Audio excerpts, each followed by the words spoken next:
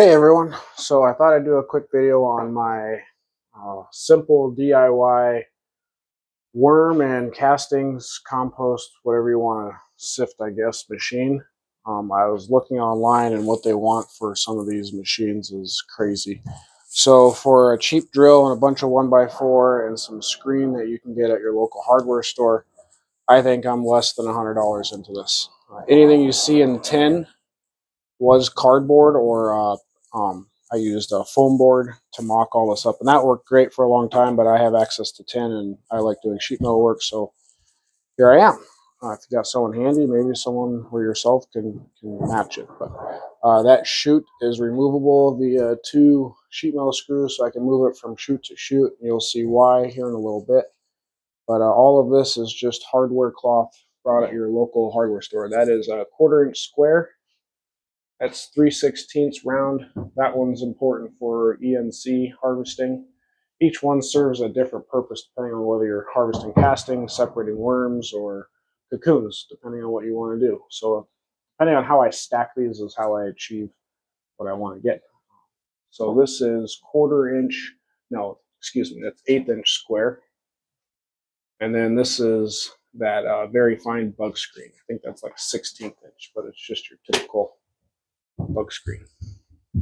That's the very fine stuff for the very fine castings. So what operates this mechanism is uh, what I did was I cut out a hole saw. I used a hole saw to make that out of a 2x4. And then off center, I drilled another hole so it's got a cam action. That's 3 eighths threaded rod. It's also available at any hardware store. Um, nuts and washers to keep it where I want it. And you'll notice there's a brass bushing in between there just to protect the wood and keep it lasting longer. And then only thing holding this is these are pinched really tight. So there is no teeth or anything digging in there. And I kind of glad because if I have something too tight or I put too big of a load on it, that's the first thing that starts to slip. And I'd rather that slip than this thing self-destruct in any other way. So that's worked out well. Uh, 16 inches wide, 34 inches long, outside to outside.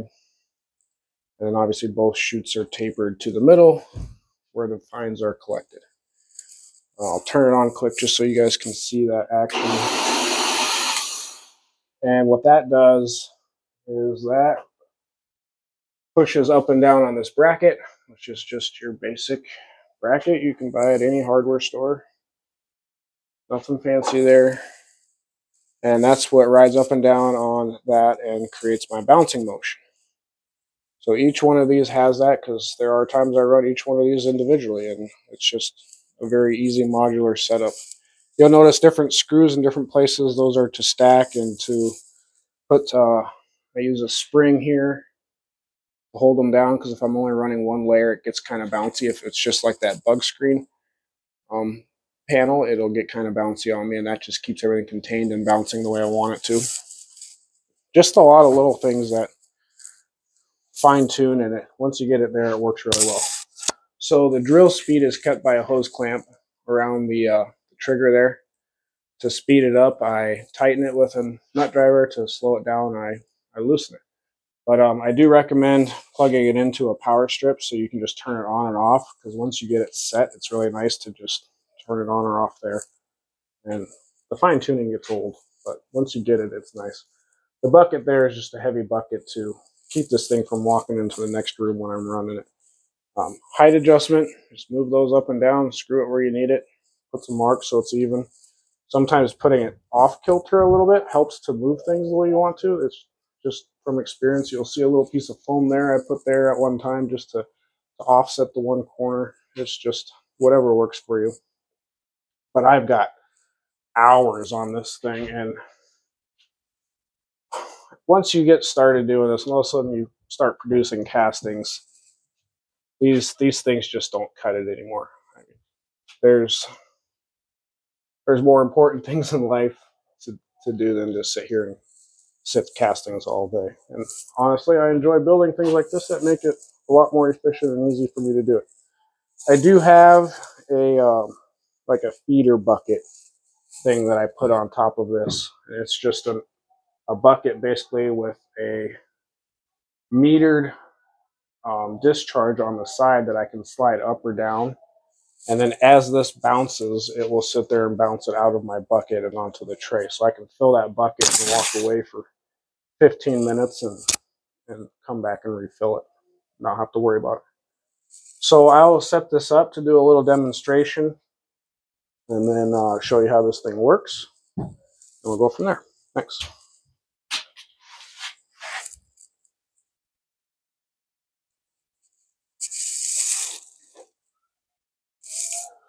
You'll notice here, there's a screw here. Same on this side.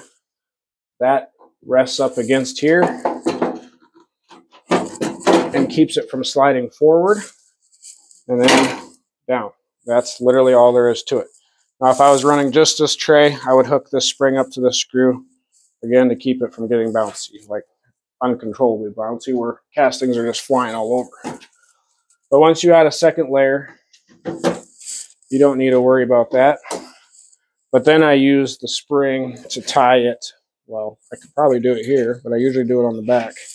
To tie the two together, I'll do it on the back like I normally do.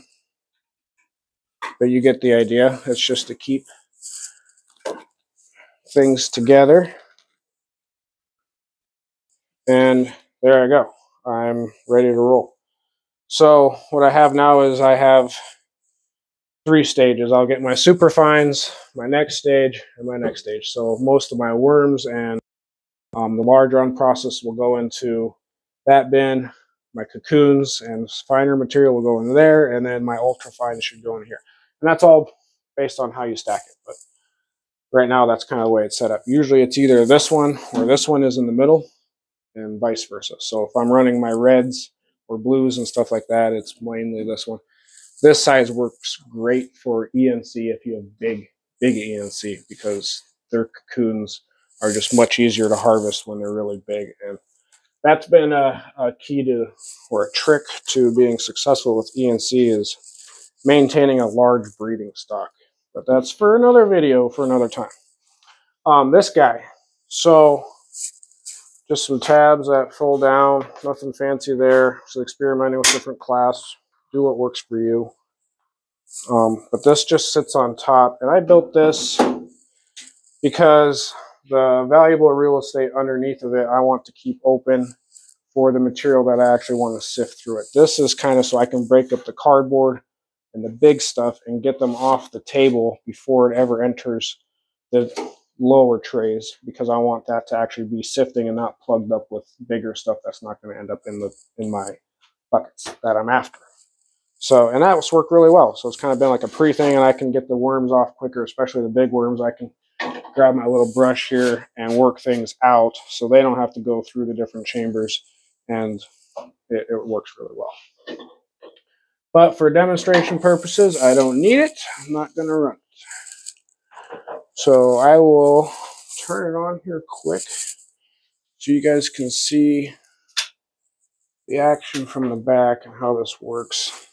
See my springs, and you'll see it'll walk forward a little bit when I when I turn it on. I just let it get where it wants to be and, and then run it. Again, uh, it's resting against a bucket there, otherwise it, it will start to walk away. There's other ways to do it, but it works for me. So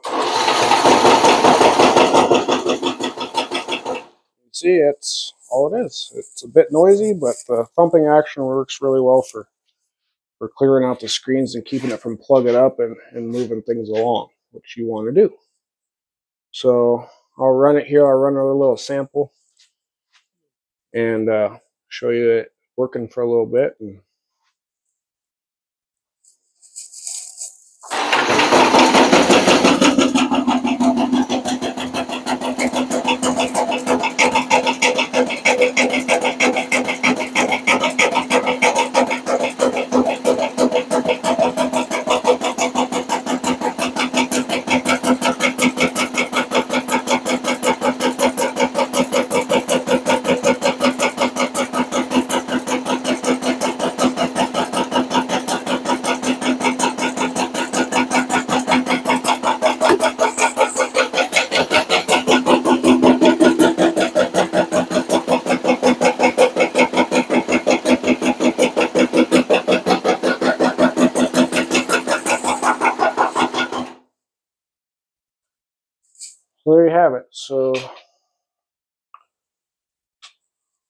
more you move through there, the better it works, especially once everything's full and flowing. It you're really churn through some material really quick.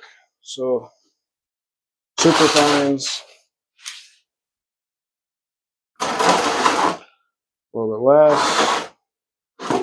Then you got your big stuff and, and your worms. I think there was, I did see some worms on this. Yeah, there's some.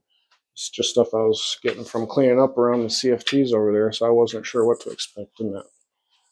But uh, yeah, there you go. I'll run it a little bit longer, get the rest of that sifted through. But hopefully this gives some people some ideas and saves them some money, because goodness gracious. I mean, nothing some 1x4 and some screen and a cheap drill can't do that some of those really high dollar ones are doing. It. That's just nuts. But uh, the better drill, the better it works. I will say that just as far as getting it fine tuned because those cheap drills it seems like it's either on or off and if they don't have a speed dial on them or something like that to tone it down it can be kind of tricky. But again this thing has just saved me hours and hours of work so hopefully it'll do the same and for someone else and get someone else some ideas to do the same. Uh, more videos to come on the worm stuff.